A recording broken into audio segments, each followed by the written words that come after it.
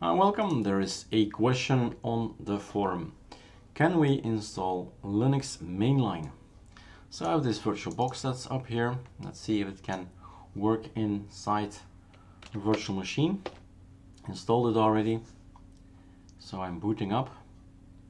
This is 18.10.4 at this point in time. So every month we get an update. So this is the October version. So that one. Now remember this number 4.18.12. So we need to install, if you like to install, the sudo pacman minus s linux and then something, right? So we have um, different possibilities. You have hardened, you have LTS headers, Zen, so there are lots of kernels you can test out. LTS, there's a separate tutorial about that on uh, arcolinux.com.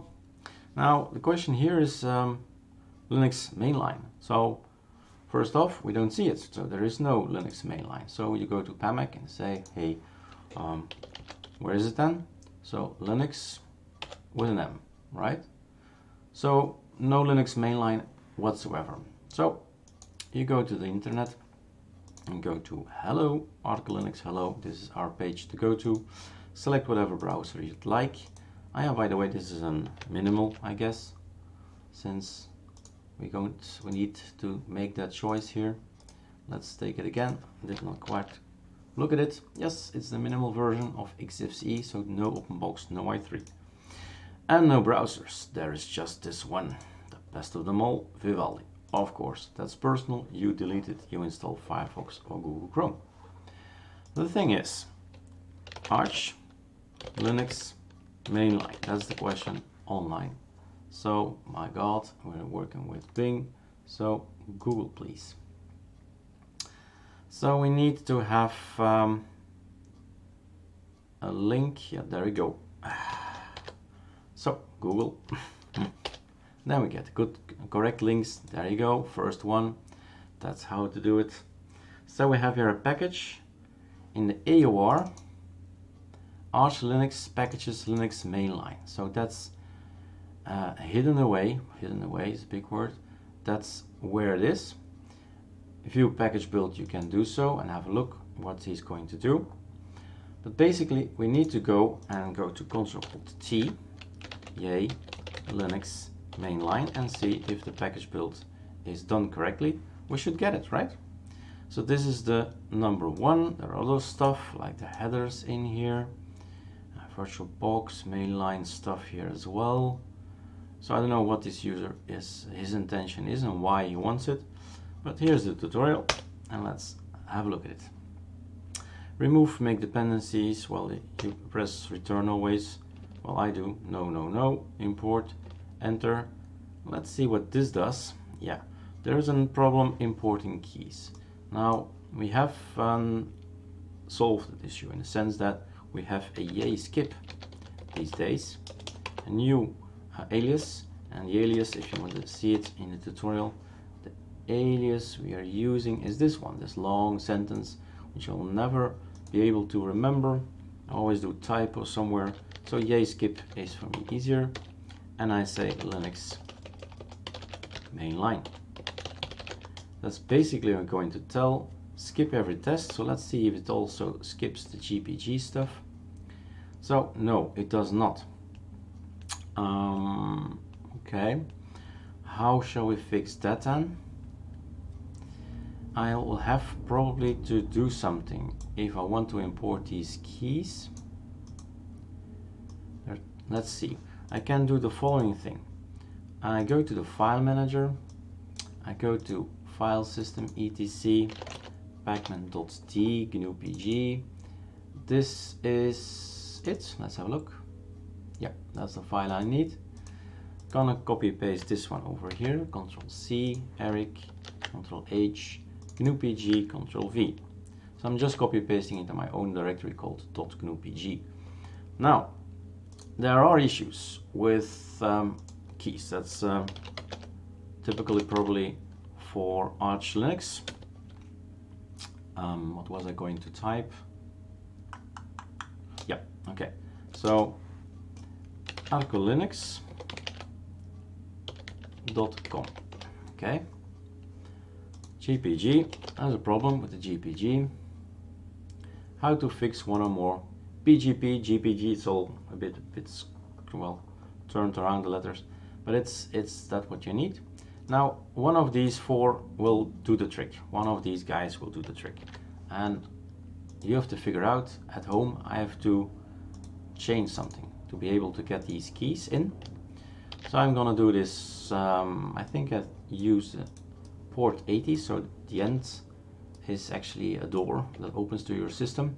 So port 80, and then save it and try it again and see if I can pass through my door, basically. Okay, so it was not 80, Control Z. Must have been this one then. So 443 I'm using now. So another door and see if my provider lets me import my keys again. There we go. So it's not a mistake of Arch nor Arch Linux. It's really an internet service provider that I have in Belgium that I pay for that is blocking my stuff here. So as long as you know, we're good to go. We get our GPG stuff in, well our keys in, and now we all get all the rest in. And it's, I suppose, I suppose I know, it's gonna take a while to build because we're receiving objects here at a good speed, super speed, but we're only at 14%, so I think we're going to install a bunch of software. Talking about space, how much space do I have? 8.8 .8 on this virtual machine. Should be enough. So let's pause here and see what it brings. In the meantime, we are eight hours later I went to work and the VirtualBox has um, finished compiling. But of course I was not there to fill in my password, so it's now somewhere. The question is where. So it says finished making this version here. We open a new window, we go inside Erik, inside and the cache, and then you see the yay. And in there is the Linux mainline. And these are the guys he fixed, he, he made. So we have a package star xz and a package star xz documents and headers. I don't know what this is, but these three guys are the guys I need to install. So I can get rid of this. So I have files and with these files, with this extension of course, minus u, you can start typing and then, not that one, Linux. So these are the things we can install. Don't need the headers, don't need the documents, not for now. Just want to test the first one. So dash 4. That's it. That's the one. And let's see if at all it works uh, when we are on VirtualBox because the element that we're on, the kernel we're on is 4.18.12. He wants to install the 19RC7-1 and he's updating those. and that's okay. Now we have this alias to update our grub and I always forget this long sentence. So we have an update grub that I cannot forget. And update the grub so he's going to find the new kernel and let's reboot quickly. Let's see what happens to our system if we reboot. This is VirtualBox. So this is the DVD. I need to go inside my own machine and it says already Linux mainline. So we know already we are in for a surprise. We have the latest Linux mainline from AUR installed. And there you go. So version 4.19037 mainline came from yay and then Linux mainline why not? Just type it like this and let Yay find it.